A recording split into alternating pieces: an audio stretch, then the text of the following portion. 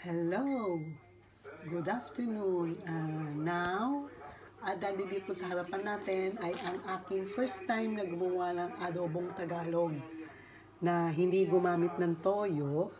Uh, ginamitan ko lang po ito ng suka, um, konting tubig, actually half cup of su- suka tapos half cup of water, pamintang durog, pamintang buo, bell, uh, tsaka yung, ang tawag nito, yung uh, laurel, star anise, bawang, sibuyas, um, konting sugar, para panimpla.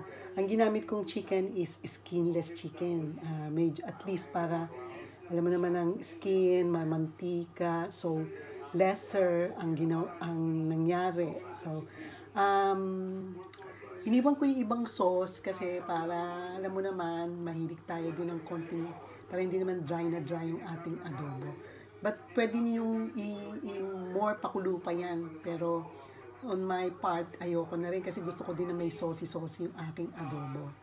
So, ang naiiba lang dito sa Tagalog na adobo is that hindi ako gumamit ng toyo which is advisable para dun sa mga may mga arthritis. So, iwas-iwas din yun. Okay, thank you so much. Sana ma-enjoy nyo at subukan nyo rin. Thank you, bye-bye.